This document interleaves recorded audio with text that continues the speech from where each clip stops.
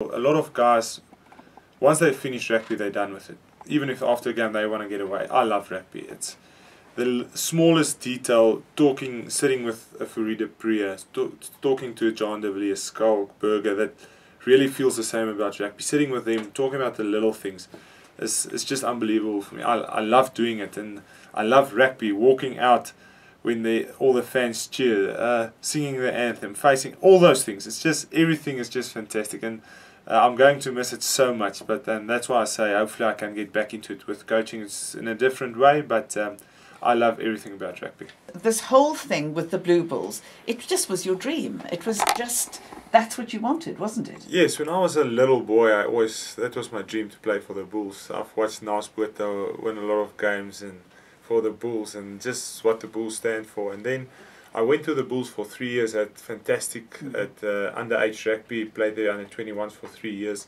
Then I went away to Griquas, and then we when we came back, Heyneke Meyer got a bunch of youngsters together, and he we were no no name brands. I think there was two Springboks, was myself and US at that stage, and the rest was just young guys that he thought had the talent. And from there we we built something and all the guys and all the wives later on, everyone just got so close, and it, it was some something special that we built over ten years. And now, uh, six months ago, when we almost said goodbye to each other, it was very sad. And this, but um, yeah, it, it, it was a fantastic time. And sometimes that whole closeness with the Bulls was probably a problem at the Springboks as well, because we always, although we were the Springbok, we stayed, we're Bulls, we're Bulls, and it shouldn't be like that. You should be a Springbok first, and secondly, you should be a Bull.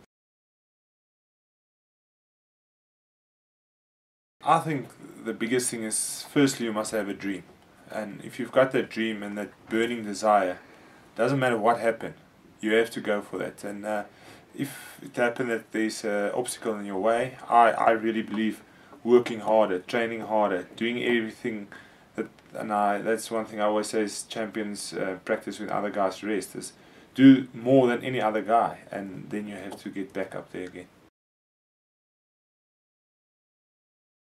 I love rugby and uh, I've always loved rugby and sports and um, yeah it's just a dream of mine I would like to get into coaching and the the highest thing you can do as a coach is to coach the Boks. so um, I don't know if I'll get there but that's my dream and uh, for now it's a little bit on the background but once I'm chasing it I'm going to do everything to get to that dream. Being involved in that in 2010 going to Orlando going to Soweto seeing white people going to areas where they would never go, and then socializing with them, being in the backyards, going to the shebeens, going, having braais together. It was just fantastic. Buying vuvuzelas, it's it was unbelievable. I still get goosebumps when I think about it. Especially the semi-final, when we, the first time we drove in there, we just couldn't believe it that everyone was there, everyone was happy, and even they were actually more crazy than they will be when they're at Loftus. so it was unbelievable. Although at that stage we were still so sad and we couldn't believe what happened, that was almost another highlight in my career because normally in South Africa, I remember 2003, we came back from that World Cup and there was just nothing. There was a media, we all had to go sit there, hear what they say, but to arrive back, being gutted, walking out there and just see almost 20,000 people standing at the whole airport, just people screaming our names. We couldn't believe it. It was unbelievable. I almost couldn't get to my family and no, then, then John and myself had a chance to say a few words and no, it was unbelievable. And yeah, we wanted to say thank you actually to the country for standing with us even through tough times and through a very disappointing World Cup.